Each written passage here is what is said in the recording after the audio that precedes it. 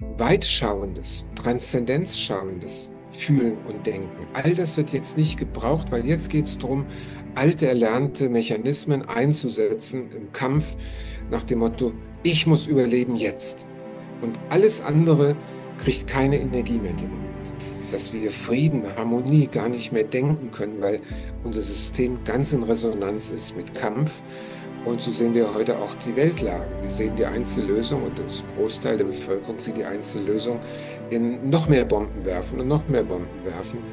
Und Frieden kann kaum noch gedacht werden, weil alle in diesem Adrenalinmodus sind. Die führt letztendlich dazu, dass das Herz es immer schwerer hat, sich bemerkbar zu machen. Und dann irgendwann macht es sich bemerkbar über leichte Stiche, über Schmerzen. Und diese Signale wollen eigentlich immer nur eins zum Ausdruck bringen.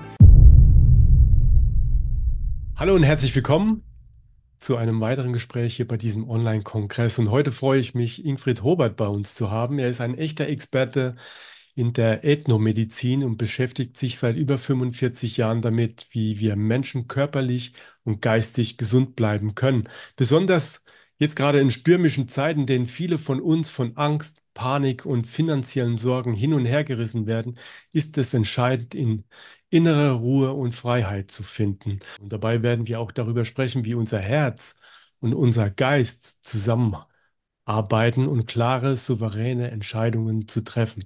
Egal im Leben oder vielleicht auch sogar in Sachen Geld. Ich freue mich sehr, dass du heute hier dabei bist, Ingrid. Ja, sehr gerne. Ja, Ingrid, du sprichst oft davon, wie wichtig es ist, gerade in stürmischen Zeiten in der Mitte des Wirbelsturms zu stehen, wo Ruhe und Klarheit herrscht. Besonders in einer Gesellschaft, die oft von Stress und Unsicherheit geprägt ist, kann das ja aufs Herz schlagen. Und warum ist es so wichtig, äh, in diesem Zeitraum, Zeit oder diesem Zentrum der Gelassenheit zu bleiben und wie wirkt sich das auf unsere Herzgesundheit aus? Naja, wir sind heute diesen Tornados ausgesetzt. Tornados an Gedankenstürmen, an Ängsten. Und es sind häufig gar nicht so sehr die Situationen selbst, die das Problem sind, sondern es ist die Art und Weise, wie wir die Situation bewerten und wie wir mit unseren Gedanken hier sozusagen als Verstärker Ängste, Paniksituationen noch größer machen, so wie die Presse ja auch die Dinge immer sehr, sehr viel größer macht, als sie dann wirklich sind. Und damit wird natürlich ein ganzes, äh, ein ganzes Feld von Triggerungen auch in, in uns ausgelöst. Und diesen Gedankenstürmen sind wir dann ausgeliefert und sie bringen uns weit weg von unseren Möglichkeiten, von dem, was eigentlich an Grundsubstanz in uns angelegt ist. Und in jedem von uns gibt es so einen Ruhepol, so eine innere Mitte, so einen inneren Anker. Und wenn wir den in stürmischen Zeiten gut auswerfen können, dann gibt er uns ein Gefühl von Sicherheit und Geborgenheit. Und das wiederum beruhigt das vegetative Nervensystem. Es muss nicht mehr nach Schutz und Sicherheit suchen, sondern es kann sich in der Sicherheit festigen, erden. Und mit dieser Erdung können wir dann auch klarer unterscheiden, was ist jetzt Wahrheit und was ist Täuschung. Wo unterliege ich einfach einem, einem Narrativ, das gesetzt ist und wo spüre ich die eigentliche Wahrheit dahinter. Und dann merke ich häufig, dass ich regelrecht eine andere Brille auf in dem Moment aufsetze, wenn ich mich diesem Gefühl nähere, ja, das fühlt sich gut an, das fühlt sich für mich mehr nach Wahrheit an und das gibt mir dann noch mehr Sicherheit. Ich fühle mich dann in mir bestätigt und das verstärkt nochmal dieses Gefühl der inneren Erdung und inneren Souveränität. Gibt es jetzt bestimmte Denkgewohnheiten, die du vielleicht auch beobachtet hast, die das Herz besonders belasten, ohne dass wir es vielleicht merken? Naja, alles, was uns in Stress setzt, belastet das Herz. Wir kennen das aus dem Neandertal. Es raschelt im Busch oder ein Gewitter zieht auf. Ne? Ich muss also sofort Maßnahmen ergreifen, um mich zu schützen, um mich zu verteidigen. Und der Körper reagiert dann automatisch mit Adrenalinausschüttung. Das heißt, die Muskeln spannen sich an, Zucker wird ausgeschieden, der Blutdruck geht hoch, der Puls geht hoch. Und jetzt kommt das Entscheidende, was wir in der Schule vielleicht gelernt haben, und vielleicht haben es viele auch überhört nämlich dass gleichzeitig, wie jetzt der Körper kampf- und äh, fluchtbereit gemacht wird, wird alles runtergefahren, was nicht gebraucht wird.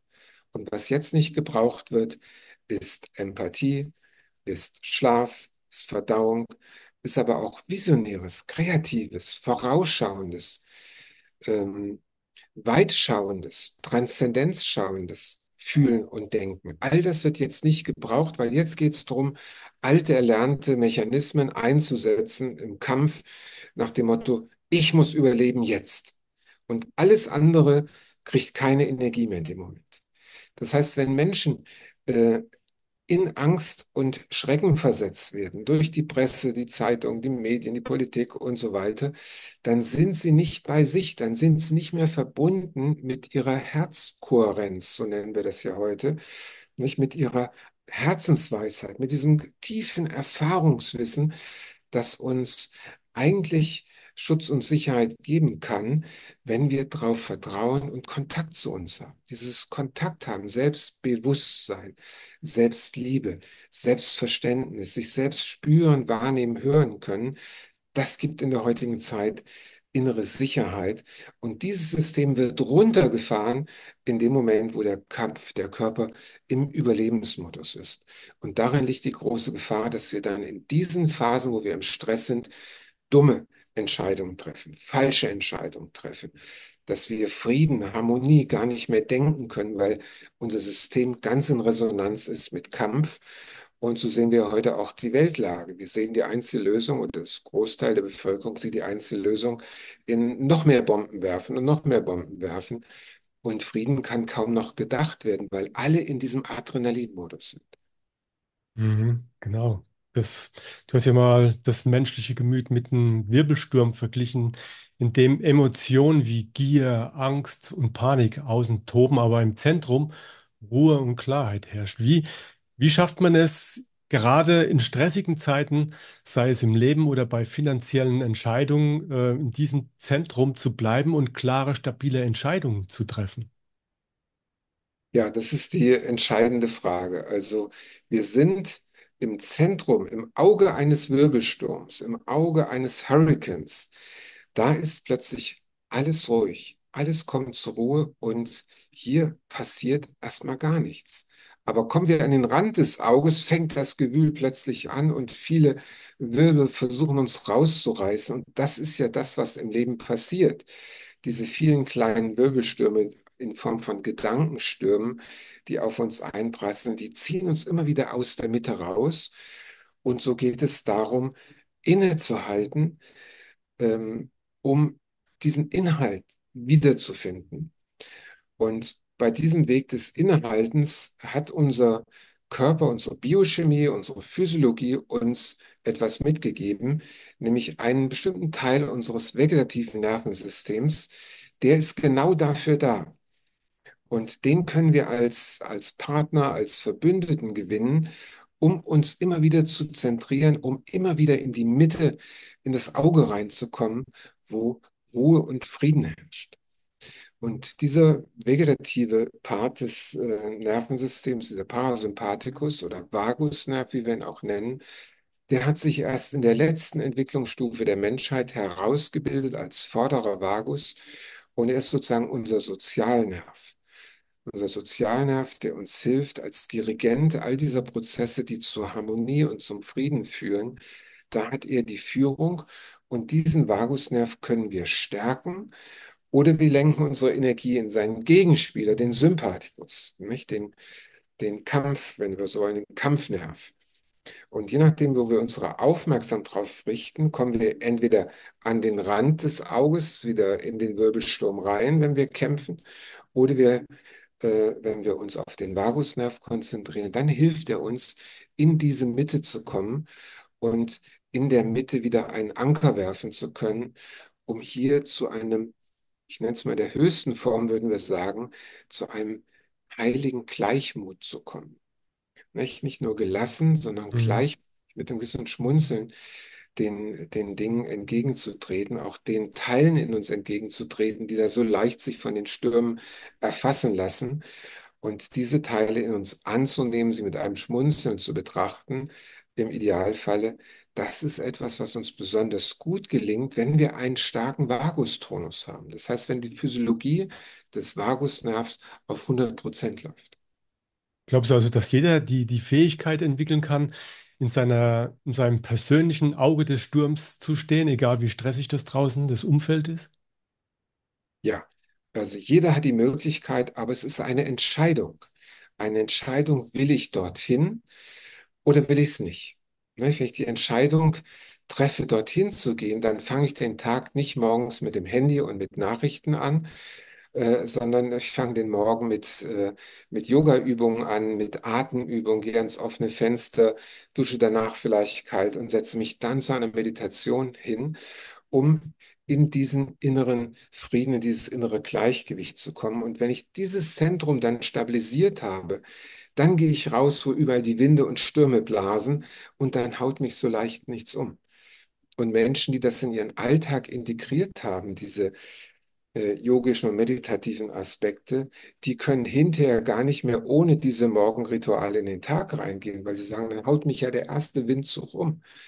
Das heißt, man muss selbst die Erfahrung gemacht haben, wie viel innere Stabilität dies geben kann. Und wenn man daraus eine Morgenroutine entwickelt, dann ist das ein richtiges Fund. Und es hilft natürlich besser in dieser Morgenroutine, äh, in dieser, wenn zu dieser Morgenroutine dann natürlich noch eine Nahrung dazu kommt, die nicht lebensfeindlich ist, sondern die die Biochemie unseres Körpers unterstützt, die den Vagus, das parasympathische Nervensystem unterstützt. Wenn wir mit, äh, mit Weißbrot, Milch, Fleisch, äh, Cornflakes, Müsli, und übermäßig viel Zucker ständig dafür sorgen, dass Brain Fog, Hirnnebel, Schleim unser System äh, überschattet, dann können wir uns natürlich in Wolf meditieren und kommen keinen Schritt näher an das Zentrum rein, weil einfach unsere körperliche Biochemie das wirklich nicht hergibt. Mhm. Man spricht ja auch von, von den Eigenschaften wie Gelassenheit, Resilienz und Selbstdisziplin, die uns helfen können, in der Mitte zu bleiben. Wie, wie könnte diese Qualität jetzt unser Herz unterstützen, wenn wir uns von Stress und finanziellen Sorgen überwältigt fühlen? Ja, also wir können natürlich äh, so stark uns reindenken in den finanziellen Sorgen, dass wir uns in drei Jahren unter einer Brücke leben sehen. Äh, Das ist eine Entscheidung, jeden Morgen mit diesen Gedanken aufzuwachen. Wir können aber genauso gut, so wie wir an einen Kleiderschrank rangehen und ein bestimmtes Kleidungsstück rausholen, können wir uns morgens auch entscheiden, ein anderes Kleidungsstück rauszuholen. Das heißt, einen anderen Gedanken morgens als Türöffner in den Tag hinein zu benutzen. Nicht? Das kann, äh, das kann ein Gedanke des Vertrauens sein, der Hingabe oder eines, einer Affirmation. Nicht? Möge ich sicher und beschützt durch den Tag gehen, möge ich frisch und kräftig durch den Tag gehen, möge ich ruhig und gelassen, frei und leicht durch den Tag gehen. Also es gibt so Sätze aus der Metta-Meditation, die wir uns morgens beim ersten Aufwachen so als innere Intention, als Absicht ähm, drei, vier Minuten lang so im Kreise wiederholen können. Und plötzlich merken wir, dass so wie ich in den Wald hinein denke, so halt es zurück. Und wir wissen, am Anfang liegt immer ein Zauber.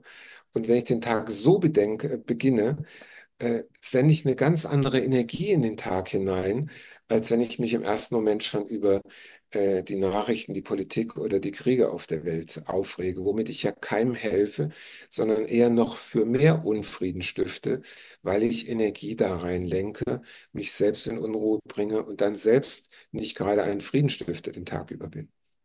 Mhm. Das ist sehr wichtig, dass man morgens äh, auf jeden Fall mit solchen Gedanken aufwacht. Das ähm, bringt sehr, sehr viel. Du hast gerade eben auch sehr viel über den Vagusnerv, der ja eine Schlüsselrolle spielt dabei, wenn es darum geht, Stress zu regulieren und innere Ruhe zu, be- äh, zu bewahren. Wie hängt das mit unserer Herzgesundheit zusammen und was können wir tun, um diesen Nerv zu aktivieren und um unser Herz zu stärken?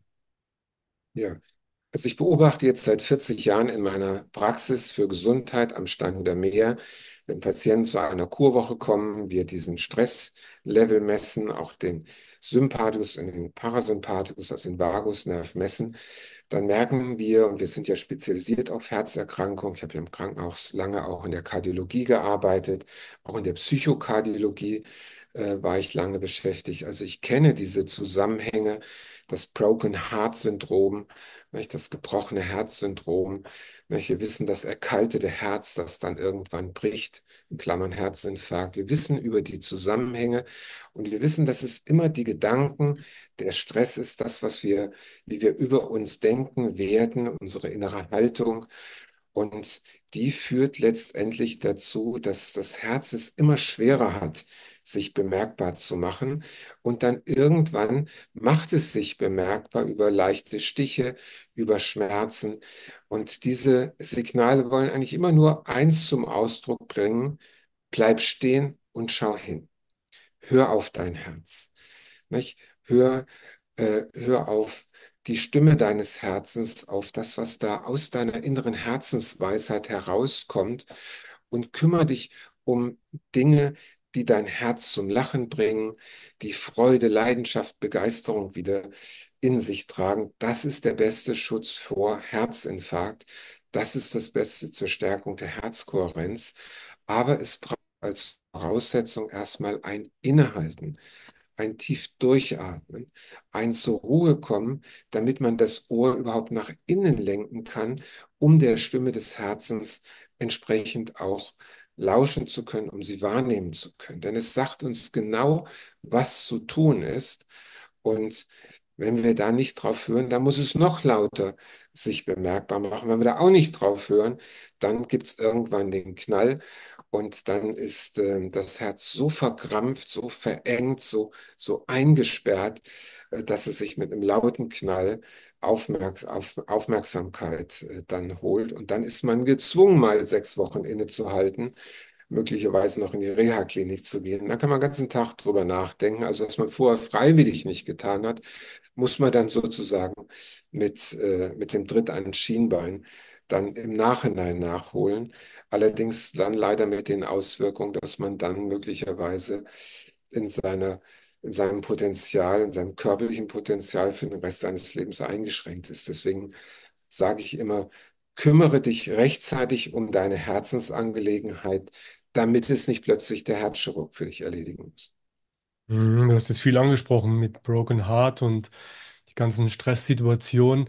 Wie lange dauert es, ähm, wenn man jetzt ähm, ja all diese Sachen jetzt anwendet, um positive Auswirkungen jetzt auf das, oder wie lange dauert es, bis man positive Auswirkungen auf das Herz verspürt, wenn man regelmäßigen Techniken aktiviert, das äh, zum Beispiel für das, für den Vagusnerv? Also wir haben ja eine Vagus-Challenge ins Leben gerufen, die wir auch vielleicht unter dem Video verlinken können. Da geht es darum, in 28 Tagen ein Intensivprogramm durchzuziehen, um den Vagusnerv zu stärken. Und wir sehen auch, wenn Patienten zu mir zur Kur kommen, in vier Wochen können wir den Vagustonus auf eine Höhe bringen, die stabil so bleibt, wenn man sich an eine gewisse Morgenroutine gewöhnt und wir können den Sympathikus runterholen. Und wenn wir das verbinden dann mit äh, täglichen Atemübungen, nicht, wo wir zum Beispiel jede Stunde drei tiefe Atemzüge machen, immer durch die Nase bis 14 beim Einatmen, bis 17 beim Ausatmen, dann bringen wir diese Routine in den Tag hinein und dann halten wir auch das Niveau. Dann, darum geht es ja immer. Ich will ja gucken, dass meine Patienten, wenn wir Lösungen suchen und finden, wo wir das Beste aus Ost und West einsetzen, dass das auch eine Nachhaltigkeit hat und dass der Patient Methoden mit an die Hand bekommt, die er nach Hause nehmen kann und wo er zu Hause dann auch etwas in der Hand hat, was er weitermachen kann. Und das Wichtigste zur Herzinfarktprophylaxe und zur Schlaganfallprophylaxe, ähm, zur Arterioskleroseprophylaxe, ist dieses rechtzeitige Innehalten um dieser feinen Herzensstimme zu lauschen, denn sie sagt uns genau, wo es lang geht. Aber dazu brauchen wir diese Ruhe, diese innere Erdung. Und ich sage immer, umso mehr wir geerdet sind, umso mehr wir uns in uns sicher und geschützt fühlen, umso mehr kann der Unruhegeist runterkommen Und umso mehr der Unruhegeist runterkommt, kann sich das Herz hervorwagen, öffnen. Und jetzt fängt Herzensweisheit langsam an, in unsere Wahrnehmungsprozesse mit einzufließen, in unsere Denkprozesse, unsere Entscheidungsprozesse und Handlungsprozesse. Das heißt, wir werden dann mehr und mehr heraus von einer inneren Weisheit, von Vertrauen getragen und unsere Entscheidungen sind dann mehr ausgerichtet zum höchsten Wohle aller, des großen Ganzen, weil wir aus dieser Verbindung einfach Frieden, Harmonie, Balance, Freiheit, Gleichmut, Gelassenheit, das fließt alles aus dieser aus dieser Herzensenergie heraus und das lässt uns dann Entscheidungen treffen, die für das große Ganze viel geeigneter sind. Also ich würde es manchen Politikern heute wünschen, sich eine ganz neue Morgenroutine anzueignen, äh, denn dann fallen, fällt es einem schwerer, die Worte Krieg und Bomben auszusprechen und es fällt einem leichter, in Gedanken von Harmonie und Frieden wieder einzustellen. Kann, kann der Vagusnerv tatsächlich nur unser Geist beruhigen, sondern vielleicht auch ähm, unser Herz ein bisschen stabiler und widerstandsfähiger machen? Ja, also wir messen das ja äh, erstmal an verschiedenen Herzwerten, die wir im Blut messen können. Wir messen es aber auch, äh, ich habe in der Praxis ein, eines der modernsten EKG-Geräte, weil ich, wie gesagt, mit der Kardiologie äh, immer ganz, äh, ganz eng äh, seit 40 Jahren vertraut bin. Das heißt, wir haben ein 3D-Vektor-EKG, das das Herz dreidimensional ausmisst. Und dann wird das über die KI in der Cloud, wird es völlig neutral ausgewertet und wir kriegen dann ein wunderbares 3D-Bild, wo wir genau sehen, wie gut ist die Durchblutung, wie ist die elektrische Rhythmussituation und wie ist die strukturelle Integrität des Herzens. Und daraus sehen wir, dass wir ein sozusagen einen Startpunkt haben. Und wenn wir jetzt die Behandlung einsetzen und mit speziellen Neurotransmittern, mit speziellen Aminosäuren als Infusion den Vagusnerv stärken oder als Kräuterrezeptur, dann sehen wir bereits nach vier Wochen, wie sich das Bild verändert.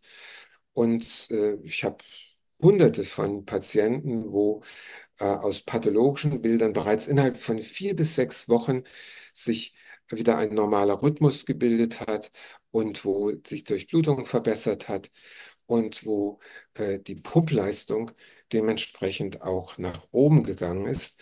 Aber dieser Gesundheitsprozess braucht die Entscheidung, ja, ich bin bereit, ja, ich will was dafür tun, ja, und ich tue es auch. Und dann haben wir natürlich das Stress-EKG, wo wir den Sympathikus, den Parasympathikus, also den Vagusnerv messen. Und da sehen wir immer am Anfang einer Kurwoche, wie ist das Bild, Vagusnerv ganz unten, Sympathikus ganz oben. Und durch die Maßnahmen, die wir im Laufe der Woche machen, dreht sich das langsam rum, Vagus kommt hoch und Sympathikus kommt runter. Und das kann der Patient aber auch schon beim ersten EKG sehen. Er sieht sein pathologisches Bild. Dann lassen wir ihn zwei Minuten atmen in einer ganz besonderen Atemfrequenz, nicht durch die Nase lang betontes Ausatmen, ungefähr, wie ich eben sagte, 4, 7. Und dann sieht der Patient während zwei Minuten, wie der Sympathikus runterkommt und der Vagus hochgeht.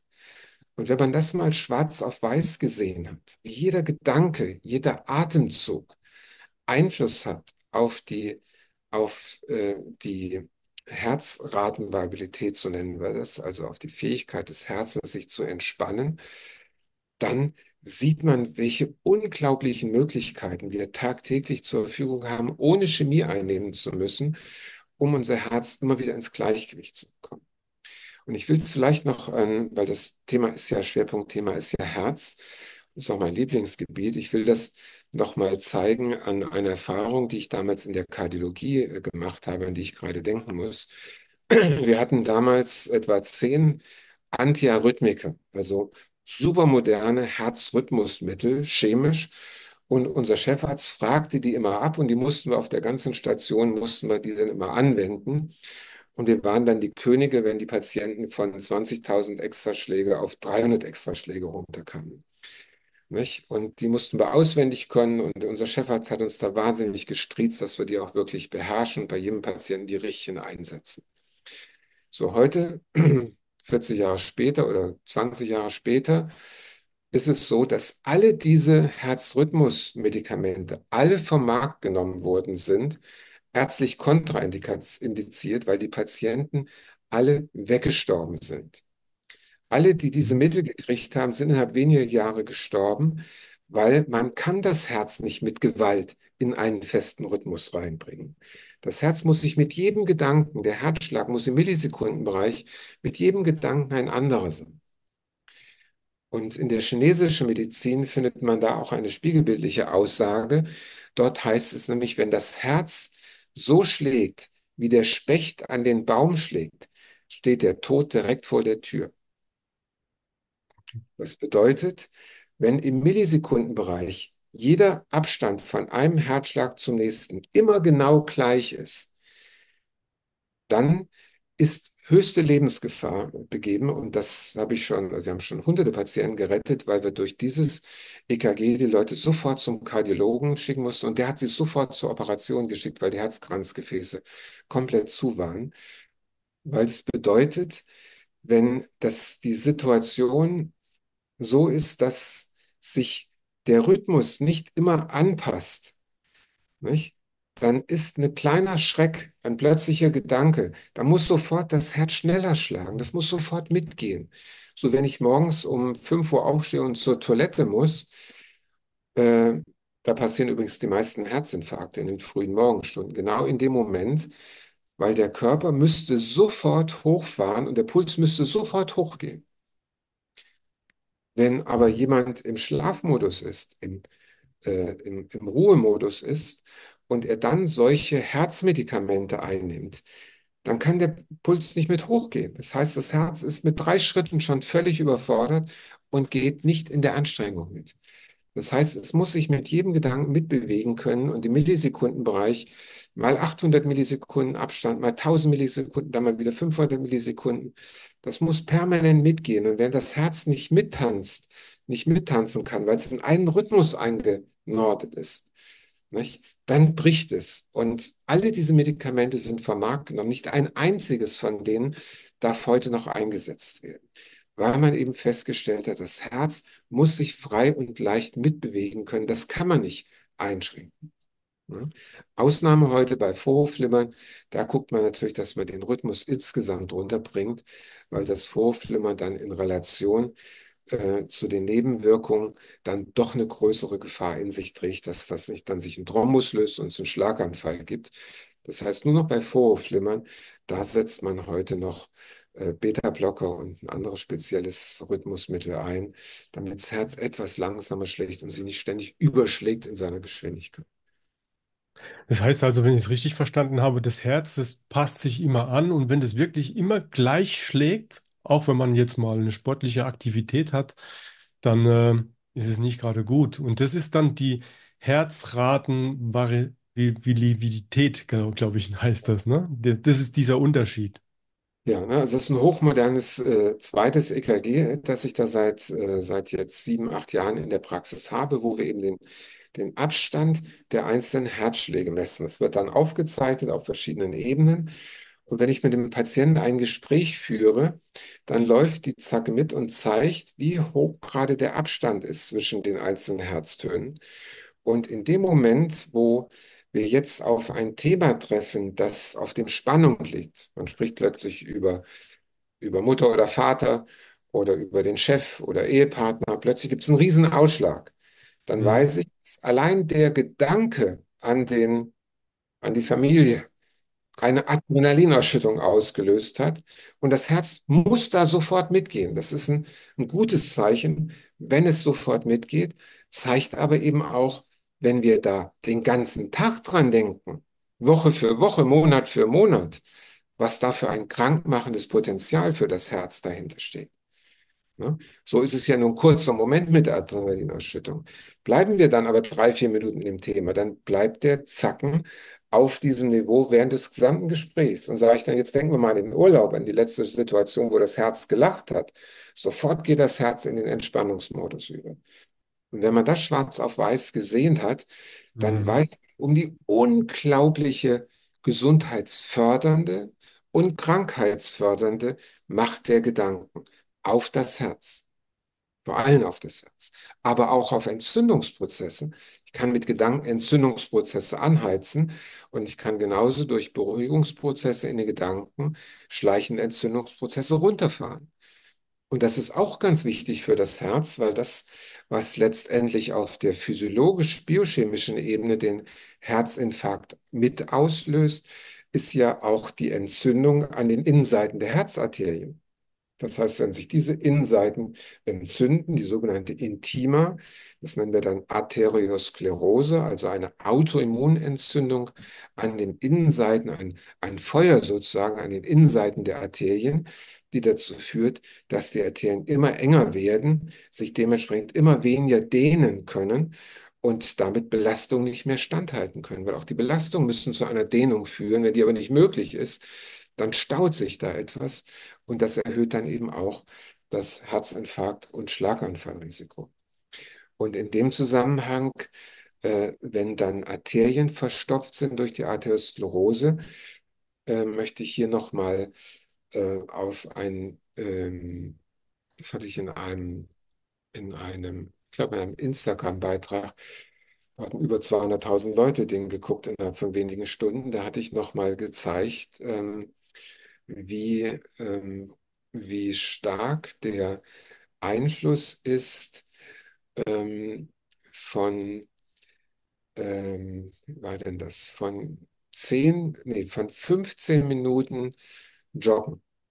Also ich habe verglichen, Eliquis, das ist so das Standardmittel zur Blutverdünnung, wenn jemand mit dem Herzen Probleme hat und Vorflimmern hat oder Gefahr von Durchblutungsstörung, dann nimmt er einen Blutverdünner extrem teuer, kriegt heute jeder wie Drops äh, aus dem Krankenhaus zugeworfen.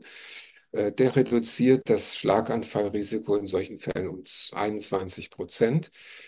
Und äh, in den Studien liest man dann aber ASS, also Aspirin in der niedrigsten Dosis, 100 Milligramm, was im Prinzip, wenn es dann noch mikroverkapselt ist, also magenfreundlich verkapselt ist, keine Magenschleimhautentzündung auslösen kann, äh, reduziert ist um den gleichen Betrag, also auch etwa um 21, 22 Prozent.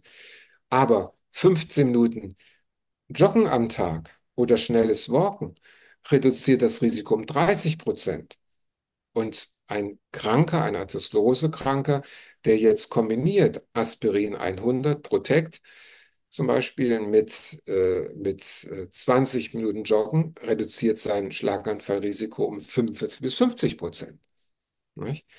Dann sieht man auch, wie wir durch unsere eigenen Entscheidungen, ich entscheide mich zu meiner Morgenroutine auch schnelles Walken, wenn ich jetzt älter bin, wenn ich ein bisschen jünger bin, auch noch eben langsames Joggen oder schnelleres Joggen, da reichen schon 15 bis 20 Minuten aus und ich mache eine dramatische Verbesserung für mein System. Mhm. Und wir haben ja auch die Mantra-Challenge ins Leben gerufen. Da lade ich, möchte ich auch jeden einladen, kostenlos daran teilzunehmen. Das ist eine große Meditationsstudie, wo ähm, wir mit Deva Premal zusammen äh, diese Challenge ins Leben gerufen haben. 60 Tage für 10 Minuten am Tag meditieren. Da haben über 15.000 Menschen schon teilgenommen. Ich möchte jeden einladen, auch noch mitzumachen, denn umso größer die Zahl der Teilnehmer ist, umso aussagekräftiger ist natürlich die Studie. Äh, auch auf ethnomed.de können wir unten verlinken. Mhm. Großer Bonus, also wir freuen uns für jeden, der da teilnimmt.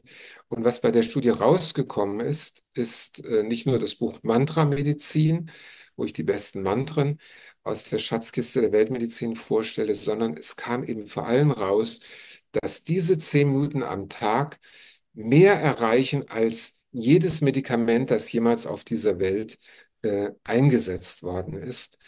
Äh, die Auswirkungen dieser täglichen zehn Minuten auf das Herzen sind ein Megafund, das wir sehr, sehr gut belegen können. Und da kann ich jeden nur einladen, Meditation, Joggen, kleine Morgenroutine. Das ist das Beste, um Herzinfarkt vorzubeugen. Und dann natürlich eine innere Haltung eines Glückspilzbewusstseins, eine innere Haltung der Dankbarkeit, Dankbarkeitstagebuch, jeden Morgen aufschreiben, wofür bin ich dankbar, was für ein Glück, dass ich doch hier in der Form sein darf. Äh, ne, eine innere Haltung, die mehr die Türen zur Freude öffnet, äh, zur Herzlichkeit, äh, wie wir so schön sagen, jetzt neu zur Herzkohärenz. Mhm. Es ist sehr, sehr wichtig, dass man solche Rituale morgens auf jeden Fall macht. Ich, äh, man sieht es jetzt hier nicht. Ich habe hier lauter Tagebücher, wo ich das auch alles schon gemacht habe und immer noch mache. Und ähm, es ist unheimlich kraftvoll. Und ähm, jetzt ist es ja aber auch so, dass du ähm, auch mit äh, Heilpflanzen, vor allem mit Wurzeln aus der tibetischen Hochlandmedizin arbeitest. Ähm, ja, wie können diese Heilpflanzen uns helfen, klarer zu denken und unser Herz stabilisieren zu können, besonders jetzt gerade in diesen stressigen Zeiten, wo es natürlich auch um finanzielle Unsicherheiten geht? Ja, also ich würde hier drei, äh, drei alte traditionelle Heilpflanzenrezepturen in den Mittelpunkt stellen. Da haben wir aus der tibetischen Medizin äh, eine Rezeptur gegen die Windkrankheit. Ne, Das passt also genau gegen die Stürme, gegen die Hurricanes unserer Gedanken. Und die Tibeter haben sich so auf dem Dach der Welt, den Göttern am nächsten da, über Jahrtausende sehr viele Gedanken gemacht. Wie können wir diesen Unruhegeist, diesen Monkey Mind runterfahren, sodass mit der Ruhe des Geistes das Herz sich mehr öffnen kann? Und sie haben die Pille gegen die Windkrankheit äh, über Jahrtausende ähm, entwickelt, immer wieder von einer Generation zur nächsten neue Erfahrung integriert und daraus ist die Rezeptur Lung entstanden. L-U-N-G. Das ist eine tibetische Heilpflanzenmischung, äh, um sich zu zentrieren, um sich zu fokussieren, um den Blick auf das Wesentliche hinter dem scheinbar so Wichtigen, um da den Blick deutlicher halten zu können. Also um zu dieser inneren Gemütsruhe zu kommen. Das zweite ist eine Rezeptur aus der Weltmedizin, wirklich aus der Schatzkiste der Weltmedizin. Hier sind die besten Wurzeln aus allen Kontinenten drin.